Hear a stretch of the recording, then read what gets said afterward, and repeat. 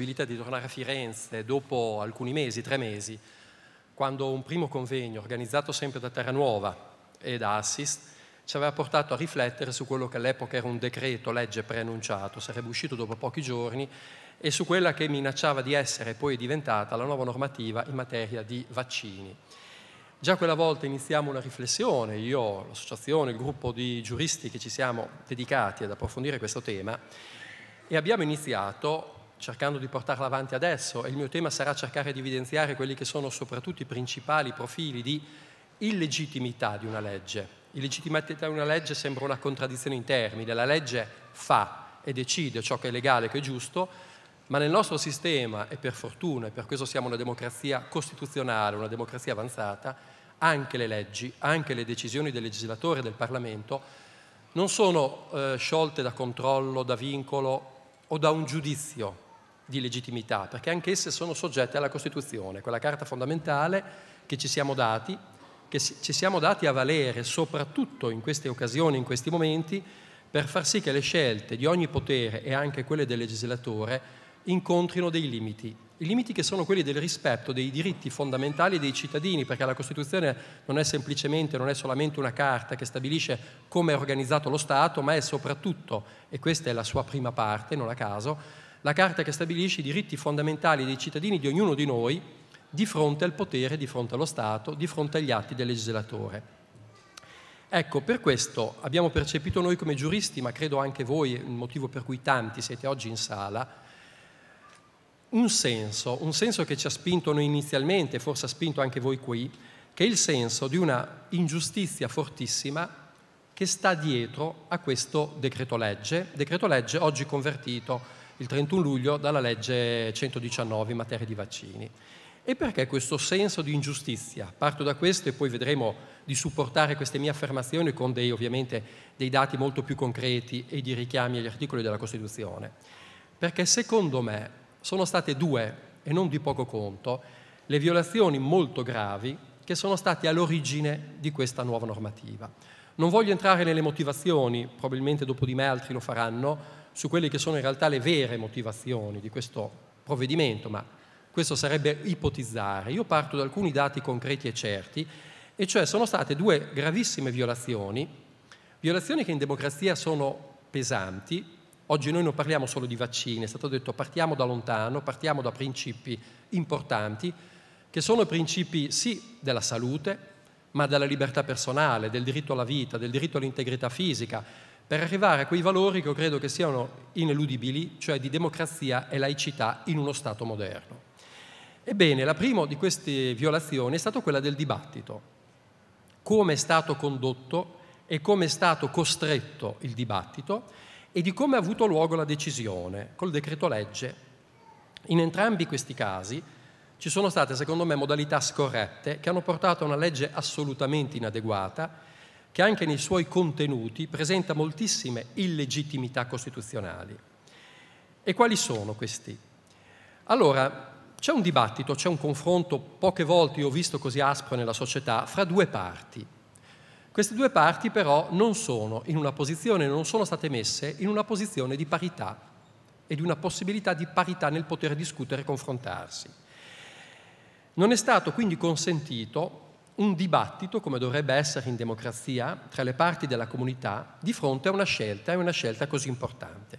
Si è diviso il campo tra giusto e sbagliato, bene e male, io ho sentito dire, e da una parte c'è una maggioranza, una maggioranza devo, significativamente rumorosa, rappresentata dall'establishment medico e da chi attualmente governa questo Paese, e ci sta che sia una maggioranza, io non voglio minimamente sminuirla, però dall'altra parte quella che era una minoranza di medici è diventata sempre meno rumorosa e sempre più ridotta al silenzio, perché lo è stato accennato e voglio rifarmi, è stata ridotta al silenzio. Noi abbiamo assistito a un momento in cui la posizione prevalente in ambito medico è diventata posizione dominante Sembra cosa di poco conto, ma nella scienza e nella scienza medica una posizione dominante, dominante nel senso di potere, non può e non deve esistere.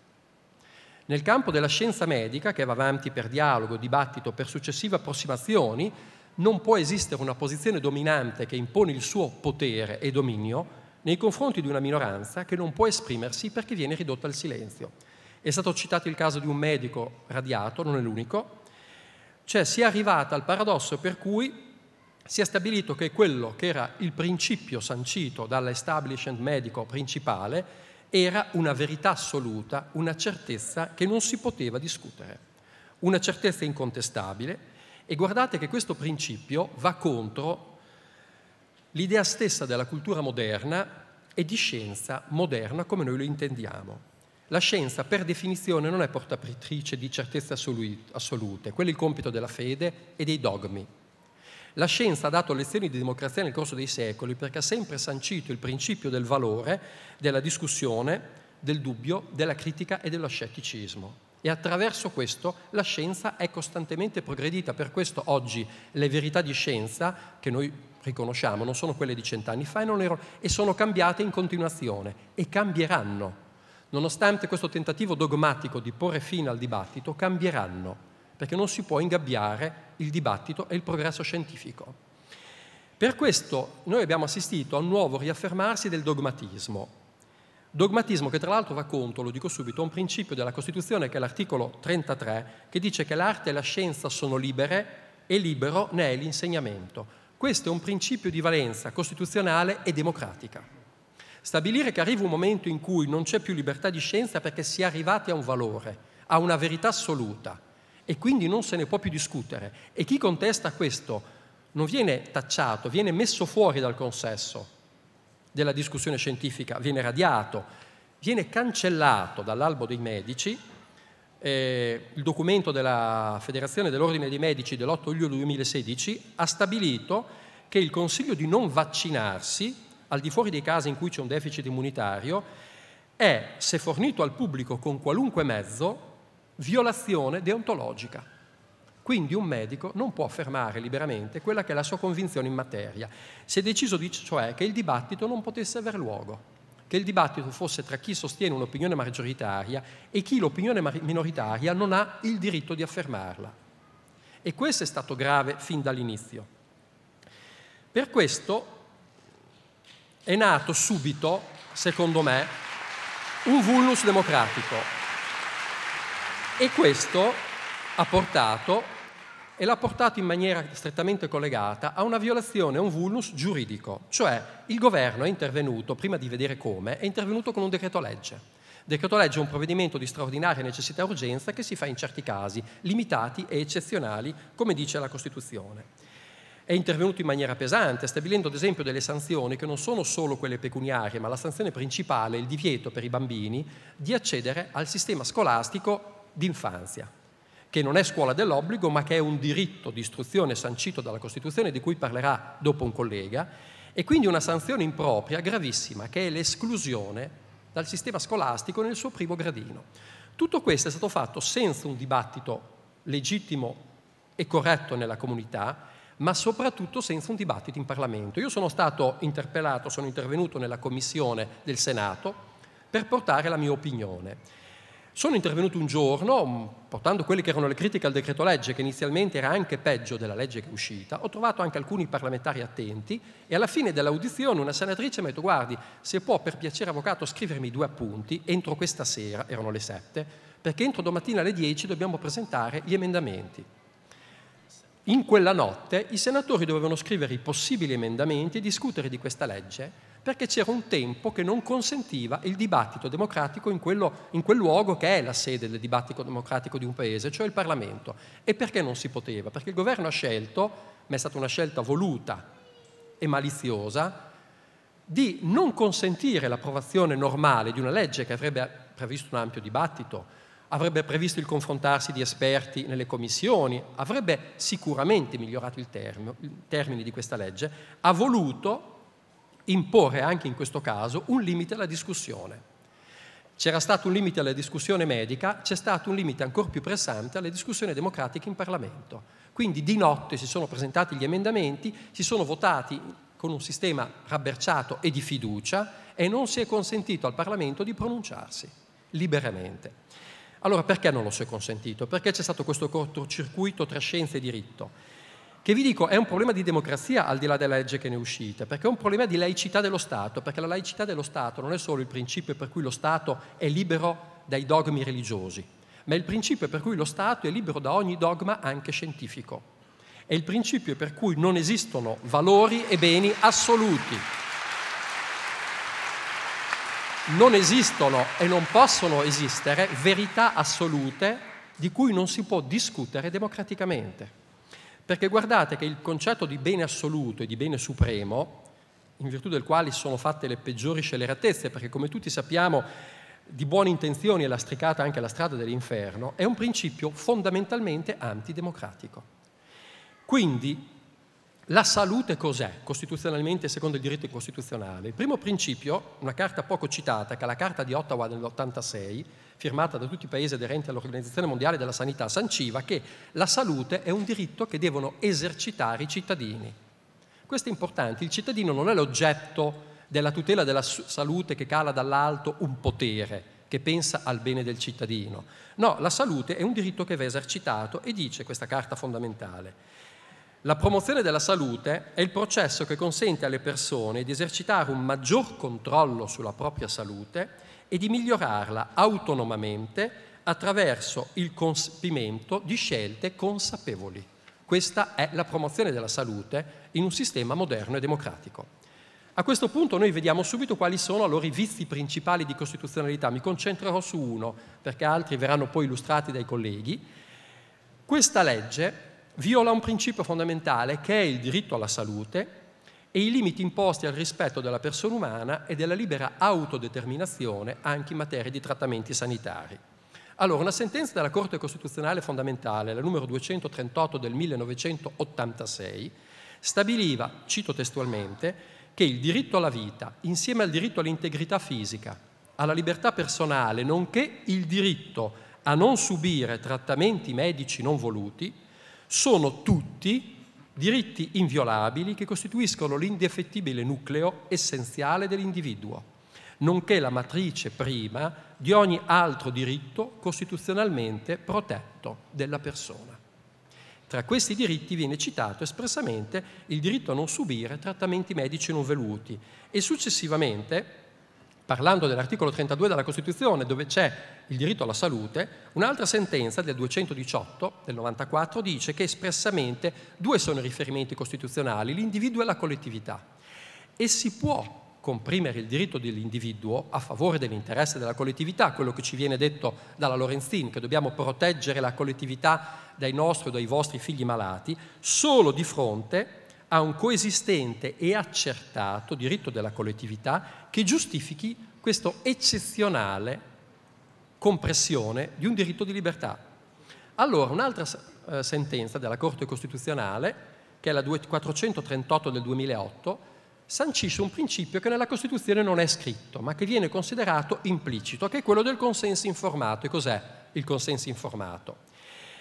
È il principio per cui il cittadino deve dare un suo consapevole adesione, consenso al trattamento sanitario che gli viene proposto. Ed è un vero e proprio diritto, che è la sintesi di due diritti fondamentali, quello alla salute, ma quello all'autodeterminazione. Quindi è ovvio che se per tutelare un fondamentale diritto costituzionale è necessario che il consenso sia informato, è ovvio anche che il cittadino a seguito dell'informazione deve poter rifiutare il consenso, perché se viene informato e non può rifiutare, non è più un consenso informato, ma è un'imposizione informata. E questo è un altro principio fondamentale. E guardate che il consenso informato, che non è questione da modulo burocratico o da una firmetta dal medico, trasforma il paziente da oggetto nelle mani della scienza medica, come è stato per secoli, a soggetto morale autonomo e raziocinante, capace di esprimere le sue scelte e di autodeterminarsi, coerentemente con la sua struttura di valori, le sue scelte, la sua libertà e la sua personale dignità. Il consenso informato rappresenta in ambito medico questo principio e questo valore. E guardate che anche la pratica medica, di cui sembra che noi siamo solo oggetti, nelle mani di medici sapienti che decidono per noi cosa è bene, è stato oggetto di un'altra sentenza interessantissima, e con questo cito la citazione delle sentenze per non tediarvi troppo, che è una sentenza del 2002, che è la 282, che dice testualmente che il legislatore non può di norma stabilire direttamente e specificamente quali sono le pratiche terapeutiche ammesse, con quali limiti e quali condizioni, salvo che entrino in gioco altri diritti e doveri costituzionali. Perché? Perché la scelta delle pratiche mediche compete all'autonomia e alla responsabilità del medico e al consenso del paziente.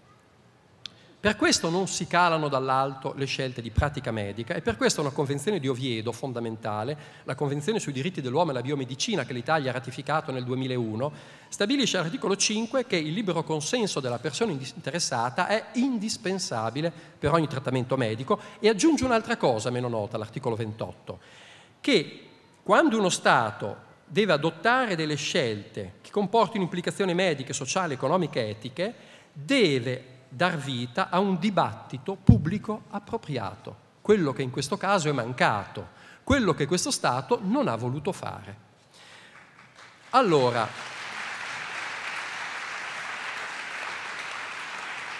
scendendo velocemente, anche la Carta di Nizza, la Carta europea, cita il principio del consenso, noi oggi ci troviamo di fronte a una legge che secondo me viene meno a una serie di principi. Il primo è il principio di proporzionalità, di ragionevolezza, cioè io posso adottare una legge ragionevolmente proporzionata a risolvere una questione, a dare risposta a un fatto. Ebbene, nel far questo io devo seguire dei principi, che sono i principi di coerenza, necessarietà e adeguatezza. Allora, la prima cosa che noi vediamo nelle premesse del decreto adottato è che si è intervenuti per far fronte a una situazione di emergenza. La situazione di emergenza sanitaria in realtà da un punto di vista epidemiologico non c'è e non esisteva. Allora, non si è intervenuto di fronte a una reale situazione di emergenza, ma si è utilizzata la situazione di emergenza in maniera strumentale e disattendendo un altro principio fondamentale, la moltiplicazione abnorme del numero dei vaccini senza che ci sia uno studio reale sulle loro possibili conseguenze anche per l'uso combinato che può amplificare le conseguenze negative, viola un altro principio, sancito non nella Costituzione ma nella giurisprudenza comunitaria, che è il principio di precauzione, che è stato sancito in materia ambientale, ma che è stato esteso dalla Corte di giustizia europea a tutte le materie e gli ambiti di salute pubblica. E cosa dice questo principio? Dice una cosa fondamentale, che quando si adotta una norma che ha conseguenze sulla salute pubblica, non solo bisogna stare attenti ai rischi provati e certi, ma bisogna evitare di adottare una norma quando ci sia un rischio della salute che non possa essere escluso. Il principio di precauzione mi impone di comprovare, di essere certo che non siano escludibili conseguenze dannose e non c'è nessuno studio sull'aumento esponenziale che questo obbligo vaccinale comporterà per gli effetti combinati e cumulativi sulla salute delle persone. Ci saranno, non ci saranno, io non sono un medico, non sta a me a dirlo, ma una cosa posso dirla non ci sono studi e questo governo non li ha fatti e non li ha presi in considerazione, anche perché un tipo di vaccinazione strutturata in questo modo è in realtà un caso di cavia unicum di fronte ai quali noi saremo soggetti a una sperimentazione. Sostanzialmente questo sarà. Allora, io ho sentito una dichiarazione ieri del ministro Lorenzin, la quale dice siamo dovuti intervenire perché esiste un'epidemia. L'epidemia non è la prima volta che la Lorenzin fa dichiarazioni clamorosamente false, io mi ricordo quella sull'epidemia ai morti a Londra, sullo Stato straniero che aveva invitato a boicottare il Veneto e il parco di Gardaland. Ci sarebbe da chiedersi quando un ministro della sanità si presta a propagandare queste bufale, che, che senso abbia chiedersi cosa sono le fake news su Facebook. Ma questa è una notazione volutamente polemica. Ebbene, questo decreto è giustificato dal fatto che c'è un'epidemia in corso per cui bisogna mettere mano con urgenza. E si è messo mano con tale urgenza e in una maniera talmente rabberciata che voi che leggete i quotidiani sapete che ogni giorno le autorità sanitarie, quelle scolastiche, stanno cercando in ogni modo di consentire l'inizio dell'anno scolastico perché non si sono previste le modalità idonee di informazione, di consenso, di trasmissione dei dati. Ieri il garante della privacy è stato costretto, tirato per la giacchetta, a fare un provvedimento molto forzato che autorizza le scuole a trasmettere i dati degli iscritti alle autorità sanitarie. Bene, si fa per dire, ma persino il garante della privacy è stato costretto ad aggiungere che però le autorità sanitarie non potranno rimandare gli elenchi alle scuole specificando gli alunni vaccinati e non vaccinati e non potranno e perché non potranno? Perché sono dati personali e sensibili che la legge sulla privacy stabilisce che possono essere passati da amministrazione solo in presenza di norma legislativa che lo preveda. Ma il garante sulla privacy ha detto che cercando di collaborare con i ministeri, di semplificare il tutto, ha invitato le autorità a dotarsi di norme regolamentari per vedere se come si potrà un giorno fare. Quindi noi siamo al primo settembre che stiamo cercando di forzare delle norme esistenti perché il governo ha corso per approvare una norma. Ma perché ha corso se un'epidemia non c'è, nonostante quello che dice il ministro Lorenzini? Ha corso perché questa legge, se fosse stata esaminata coi dovuti tempi, con un dibattito democratico e non strozzato e attraverso le procedure ordinarie, non sarebbe passata in questi termini. Sarebbe sicuramente stato oggetto di altre diverse valutazioni. Per questo io ritengo che questa legge, al di là del contenuto per me pessimo, è un pessimo segnale di come si possono fare norme che vanno a colpire la salute e i diritti di tantissime persone, cito solo il diritto all'istruzione dei bambini da 0 a 6 anni che non potranno accedere al primo grado di istruzione, alla scuola d'infanzia, lo si è fatto con una forzatura, in assenza di dibattito democratico e utilizzando criteri in realtà infondati. Per questo io credo che sia giusto combattere questo tipo di approccio legislativo, non solo perché la legge è scritta davvero male, ma perché è la logica e lo spirito che la sottendono che secondo me costituiscono un grave vulnus democratico. E concludo dicendo che quando lo Stato ha cessato di accettare i dogmi di fede e di scienza, stabilendo che non esistono verità assolute, ma che i cittadini democraticamente devono scegliere ciò che nel loro interesse attraverso i loro rappresentanti e che i rappresentanti deve essere consentito di fare i rappresentanti e di discutere di queste cose con i tempi e le modalità e senza un voto di fiducia, perché se si votava contro questo decreto cadeva il governo. Beh, quando si è deciso di fare questo si è entrati nella democrazia moderna, cioè si è deciso che non esiste un orizzonte unico verso il quale noi dobbiamo tendere, non c'è un bene assoluto stabilito da un Dio o dagli scienziati che oggi sono maggioranza, ma esiste un orizzonte che i cittadini si danno conformemente ai loro principi, ai loro valori e alle loro scelte democratiche. Non esiste la possibilità di imporre un bene superiore o una salute pubblica al di fuori di queste modalità democratiche, perché al di fuori di queste modalità democratiche la democrazia cessa di essere tale. Grazie.